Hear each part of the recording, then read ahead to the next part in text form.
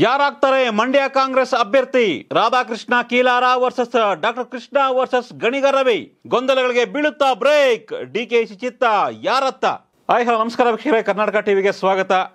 S, Mandya ವಿಧಾನಸಭಾ ಕ್ಷೇತ್ರ. ಮಂಡ್ಯ ಅಂದ ತಕ್ಷಣ ಒಂದು ರೀತಿ ಇಂಡಿಯಾ ನೆನಪಾಗುತ್ತೆ. ಅಷ್ಟು ರೋಚಕವಾಗಿ ಮಂಡ್ಯದಲ್ಲಿ ಪ್ರತಿ ಬಾರಿ ಕೂಡ ಎಲೆಕ್ಷನ್ ಆಗುತ್ತೆ. ಅದರಲ್ಲಿ ನೋ ಡೌಟ್. ಈ ಬಾರಿ ಕೂಡ ಅದೇ ರೀತಿಯ ರೋಚಕತೆಯನ್ನು ಉಳಿಸಿಕೊಳ್ಳುವಂತ ಸಾಧ್ಯತೆ ಕಾಣಿಸ್ತಾ ಇದೆ. ವಿಶೇಷವಾಗಿ ನಾವಿವತ್ತು ಮಂಡ್ಯ ವಿಧಾನಸಭಾ ಕ್ಷೇತ್ರ. ಎಸ್, ಮಂಡ್ಯ ವಿಧಾನಸಭಾ ಕ್ಷೇತ್ರ. ಮಂಡ್ಯದ ಕಾಂಗ್ರೆಸ್ ಅಭ್ಯರ್ಥಿ ಯಾರು ಅನ್ನೋ ಒಂದು ಪ್ರಶ್ನೆ. ಸದ್ಯಕ್ಕೆ ಒಂದು ರೀತಿ ಮಿಲಿಯನ್ ಡಾಲರ್ ಪ್ರಶ್ನೆ ಥರ ಆಗ್ತಾ ಇದೆ. ಉತ್ತರ ಸಿಗ್ತಾ ಇಲ್ಲ. ಈಗಾಗಲೇ ಜೆ ಡಿ ಎಸ್ನಿಂದ ಸಿಟ್ಟಿಂಗ್ ಎಂ ಎಲ್ ಎ. ಅವ್ರಿಗೆ ಶ್ರೀನಿವಾಸ್ ಅವ್ರಿಗೆ ಟಿಕೆಟ್ ಅನೌನ್ಸ್ ಆಗಿದೆ.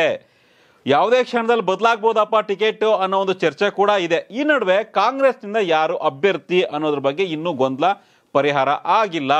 ರಾಧಾಕೃಷ್ಣ ಕೀಲಾರ ಅವ್ರಿಗೆ ಟಿಕೆಟ್ ಕೊಡಬೇಕಾ?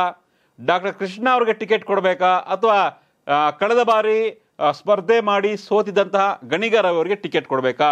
ಈ ಮೂರು ಜನ ಸ್ಟ್ರಾಂಗ್ ಸದ್ಯಕ್ಕೆ ಮಂಡ್ಯ ಕಾಂಗ್ರೆಸ್ನಲ್ಲಿ ಈ ಮೂರು ಜನ ಹೆಸರು ಓಡಾಡ್ತಾ ಇದೆ. ಯಾರಿಗಾದರೂ ಒಬ್ರಿಗೆ ಟಿಕೆಟ್ ಕೊಡಬೇಕು. ತುಂಬ ಜನ ಆಕಾಂಕ್ಷಿಗಳಿದ್ದಾರೆ ಇನ್ನೂ ಕೂಡ. ಸಾಕಷ್ಟು ಜನ ನನಗೂ ಕೂಡ ಟಿಕೆಟ್ ಕೊಡಿ ಅಂತ ಕಾಂಗ್ರೆಸ್ ಕಚೇರಿಗೆ ಅರ್ಜಿಯನ್ನು ಹಾಕಿದ್ದಾರೆ ಕೆ ಪಿ ಸಿ ಸಿಗೆ ಆದರೆ ಒಬ್ಬರಿಗೆ ಟಿಕೆಟ್ ಕೊಡೋಕ್ಕಾಗೋದು. ಯಾರು ಬೆಸ್ಟು ಅನ್ನೋದನ್ನ ನೋಡಿ ಕೊಡ್ತಾರೆ. ಸದ್ಯಕ್ಕೆ ರಾಧಾಕೃಷ್ಣ ಕೀಲಾರ, ಏನು, ಕಾಂಗ್ರೆಸ್ ಸೇರ್ಪಡೆ ಆದರು. ಡಿ ಕೆ ಶಿ ಸಮ್ಮುಖದಲ್ಲಿ. ಡಿ ಕೆ ಶಿ ಕಾಂಗ್ರೆಸ್ ಸೇರ್ಪಡೆ ಆಗಬೇಕಾದ್ರೆ ಒಂದು ರೀತಿ ಭರವಸೆ ಕೊಟ್ಟಿದ್ದಾರೆ. ನಿಮಗೆ ಟಿಕೆಟ್ ಕೊಡ್ತೀನಿ ಅನ್ನೋ ಒಂದು ನಿರೀಕ್ಷೆಯಲ್ಲಿ ರಾಧಾಕೃಷ್ಣ ಕೀಲಾರ ಇದ್ದಾರೆ. ಮತ್ತೊಂದು ಕಡೆ ಕೃಷ್ಣ, ಡಾಕ್ಟರ್ ಕೃಷ್ಣ ಕೂಡ ತುಂಬ ಆಪ್ತರು. ಚಲರಾಯ ಸ್ವಾಮಿ ಅವರಿಗೆ ಚಲರಾಯ ಸ್ವಾಮಿ ಅವರಿಗೆ ನಿಮಗೆ ಟಿಕೆಟು ಅನ್ನೋ ಒಂದು ಭರವಸೆಯನ್ನು ಕೊಟ್ಟಂತೆ ಇದೆ ಡಾಕ್ಟರ್ ಕೃಷ್ಣಗೆ. ಹೀಗಾಗಿ ಡಾಕ್ಟರ್ ಕೃಷ್ಣ ಕೊಡಬೇಕಾ, ರಾಧಾಕೃಷ್ಣ ಕೀಲಾರ ಕೊಡಬೇಕಾ ಅನ್ನೋ ಒಂದು ಚರ್ಚೆ ದೊಡ್ಡ ಮಟ್ಟದಲ್ಲಿ ಆಗ್ತಾ ಇದೆ. ಈಗಾಗಲೇ ಕೆಲವೊಂದಿಷ್ಟು ಕೆ ಪಿ ಸಿ ಸಿ ನಾಯಕರು ಮೀಟಿಂಗನ್ನು ಕೂಡ ಮಾಡಿದ್ದಾರೆ ಮಂಡ್ಯ ಟಿಕೆಟ್ ವಿಚಾರವಾಗಿ. ಗಣಿಗ ರವಿಗೆ ಟಿಕೆಟ್ ಹೇಗೆ ಅನ್ನೋದ್ರ ಬಗ್ಗೆ ಕೂಡ ಚರ್ಚೆ ಆಗ್ತಾ ಇದೆ. ಏಕೆಂದರೆ ಕಳೆದ ಬಾರಿ ಚುನಾವಣೆ ಟೈಮಲ್ಲಿ ಕಳೆದ ಎರಡು ಲಾಸ್ಟ್ ಕೊನೆ, ಒಂದು ಎರಡು ಮೂರು ದಿನದಲ್ಲಿ ಗಣಿಗ ರವಿ ಕಾಣಿಸ್ಕೊಳ್ಳಿಲ್ಲ ಕ್ಷೇತ್ರದಲ್ಲಿ. ಹೀಗಾಗಿ ಕಾಂಗ್ರೆಸ್ಗೆ ಹಿನ್ನಡೆ ಆಯಿತು ಅನ್ನೋ ಒಂದು ಅಪವಾದ ಕೂಡ ಇದೆ. ಹೀಗಾಗಿ ಈಗ ಸದ್ಯಕ್ಕೆ ಮಂಡ್ಯ ವಿಧಾನಸಭಾ ಕ್ಷೇತ್ರದಲ್ಲಿ ಕಾಂಗ್ರೆಸ್ ಅಭ್ಯರ್ಥಿ ಯಾರಪ್ಪ ಅಂದರೆ ಒಂದು ರೀತಿ ಕನ್ಫ್ಯೂಷನ್ ಸೊ ಬಹು ಬೇಗ ಕ್ಲಿಯರ್ ಆಗಬಹುದು ಈ ಒಂದು ಕನ್ಫ್ಯೂಷನ್ಗೆ ಬಟ್ ಆಕಾಂಕ್ಷಿಗಳು ಜಾಸ್ತಿ ಜನ ಇದ್ದರೂ ಕೂಡ ಈ ಇಬ್ಬರ ನಡುವೆ ಜಾಸ್ತಿ ಫೈಟ್ ಆಗ್ಬೋದೇನೋ ಈಗ ಅನ್ನೋ ಒಂದು ಚರ್ಚೆ ಆಗ್ತಾ ಇದೆ. Doctor Krishna versus Radhakrishna Keelara. So ಇಬ್ಬರ ಜೊತೆ ಗಣಿಗ ರವಿ ಕೂಡ ಯಾಕಂದ್ರೆ ಲಾಸ್ಟ್ ಟೈಮ್ ನಿಂತು ಸೋತಿದ್ರು. ಹಾಗಾಗಿ ಮೂರು ಜನದಲ್ಲಿ ಯಾರಿಗೆ ಟಿಕೆಟ್ ಕೊಡಬೇಕು? ಸೊ ಕೊಟ್ಟರೆ ರಾಧಾಕೃಷ್ಣ ಕೊಡಬೇಕಾ? ಡಾಕ್ಟರ್ ಕೃಷ್ಣ ಕೊಡಬೇಕಾ? ಅಥವಾ ಗಣಿಗ ರವಿ ಕೊಡಬೇಕಾ?